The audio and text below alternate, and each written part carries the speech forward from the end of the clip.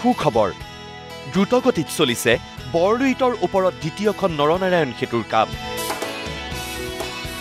দুহেজাৰ চৌবিছত মুকলিৰ লক্ষ্য উৎফুল্লিত জনতা। নামনি অসমবাসীলৈ আন এটা ভাল খবৰ। আৰম্ভ হ'ল বহু আকাংক্ষিত গোৱালপাৰা বঙাইগাঁও সংযোগী দ্বিতীয়খন নৰনাৰায়ণ সেতুৰ কাম। বৰলুইতৰ বুকুৰ ওপৰত দ্ৰুতগতিত চলিছে সেতু নিৰ্মাণৰ কাম। সাতশ ছয়চল্লিছ কোটি ছয়সত্তৰ লাখ টকা ব্যয় সাপেক্ষে নিৰ্মাণ কৰা হৈছে দ্বিতীয়খন নৰনাৰায়ণ সেতু যিখন সেতুৰ দৈৰ্ঘ্য চাৰি দশমিক তিনি ন কিলোমিটাৰ। কেন্দ্ৰীয় মন্ত্ৰী নীতিন গাডকাৰীৰ ঘোষণাৰ পিছতেই যুদ্ধসদৃশ তৎপৰতাৰে চলিছে দলংখন নিৰ্মাণৰ কাম। যাৰ বাবে এতিয়া উৎফুল্লিত হৈ পৰিছে গোৱালপাৰা বঙাইগাঁৱৰ সাধাৰণ জনতা। সকলোৱে ধন্যবাদ জনালে চৰকাৰক। বিশেষকৈ আমাৰ কাৰণে এটা ভাল খবৰ কাৰণ নামনি অসমৰ কাৰণে এইটো এটা বিৰাট ভাল খবৰ। কাৰণ দ্বিতীয়খন নৰনাৰায়ণ সেতু হ'বলৈ গৈ আছে। এই ক্ষেত্ৰত মই কেন্দ্ৰীয় মন্ত্ৰী নীতিন গাডকাৰী ডাঙৰীয়াক আৰু অসমৰ মাননীয় মুখ্যমন্ত্ৰী ডাঙৰীয়াক মই ধন্যবাদে দিব লাগিব।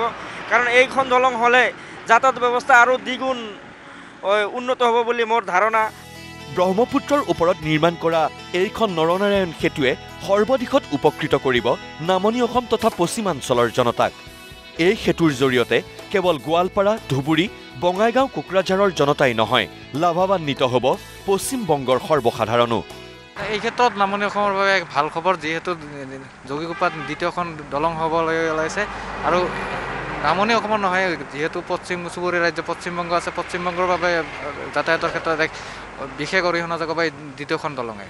উল্লেখ্য যে দুহেজাৰ চৌবিছ চনত সেতুখন সম্পূৰ্ণ কৰি মুকলি কৰাৰ লক্ষ্য চৰকাৰৰ।